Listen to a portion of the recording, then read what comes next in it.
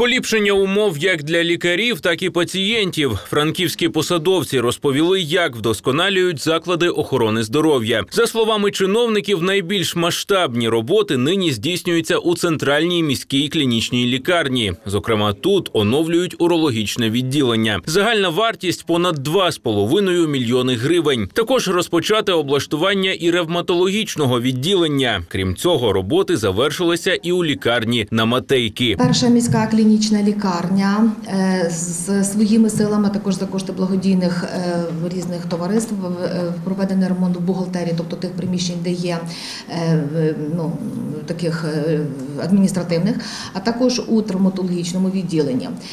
Травматологічному відділенні відремонтовано палати, дві такі палати із специфічним санітарним блоком окремо. Це так якби покращеного такого планування палата, маніпуляційна кімната. Нині облаштування триває не лише в лікарнях, але й поліклініках.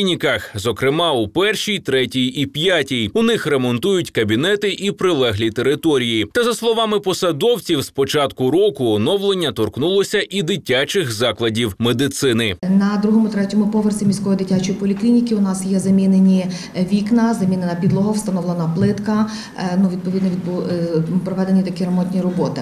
Е, Щодо ну далі щодо покращення е, утеплення, власне, заміна вікон у е, кабінетах поліклініки.